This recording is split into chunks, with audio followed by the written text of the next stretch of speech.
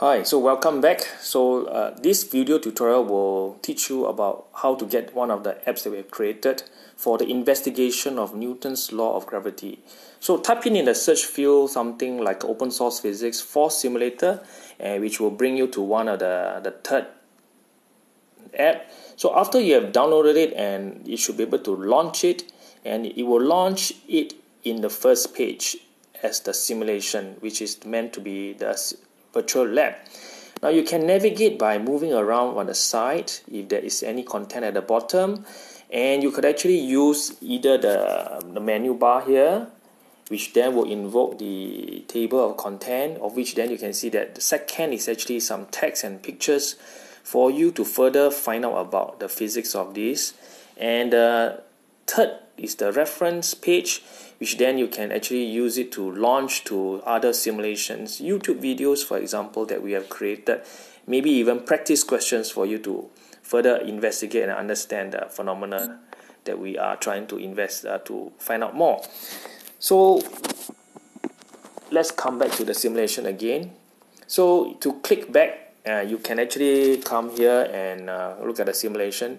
So one of the cool things about this computer model is it allows you to figure out and make meaning of the idea called the Newton's law of gravity. So it is basically a, a law that says that whenever physical body that have masses, they will be attracted to each other. And this force is present when the bodies are, are present and they do not need to be in contact with each other which is different from the other contact forces that you may be familiar with.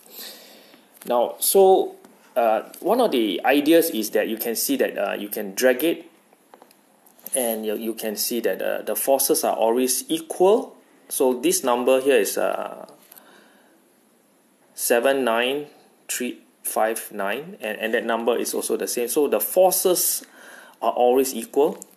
They are also accelerating towards each other. So how do we know that it's accelerating to each other? We can actually click play. So this is the physical the physics effect of uh, having masses near each other. So they'll nat- naturally gravitate or pull each other.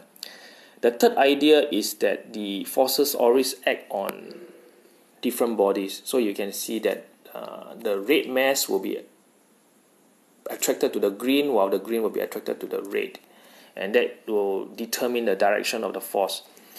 So let's say, for example, uh, there's this particular idea that the mutual force of attraction between these two point masses are directly proportional to the product of their masses. So what does it mean? So one way to quickly figure this out is you can actually change the mass one. So from 100, uh, observe that the force is this number, 4.17 to the power of minus 8 and we were to reduce it by half, you can see that the, the force should now be uh, correspondingly lower, which is also half. So let's say that we, so now it's 0, 2.086. So let's reduce it further. Uh, so let's increase it. So you can see that this is uh, double again so it seems to be proportionately uh, varying. Now, how do you change the M2? You can actually correspondingly change M2 as well. So if you change M2 to 50, which you halve it, then the forces will also correspondingly be half. So if you were to double it, so it goes back to double. So this is what we mean by being directly proportional to the product of the masses, which is M1 and M2. Now, what do we mean when we say uh, inversely proportional to the square of the separation of the two cent- of the center of the mass. So what this means is if this is um, let's say we, we put it side by side, uh, the separation is in this case one meter apart, which you can see from r equal to one. Notice that the forces are also equal is 3.37 to the power of minus 7. So if I were to move this mass to let's say 2 meters apart, which is now double of the earlier. So 2 and then you square it. So the, the magnitude of force would have been uh, half and half. So it's one quarter, one quarter of the original amount. Let's, let's take a look again. So this is, uh, okay, I'm dealing with numbers that are not, okay, so let's reset this.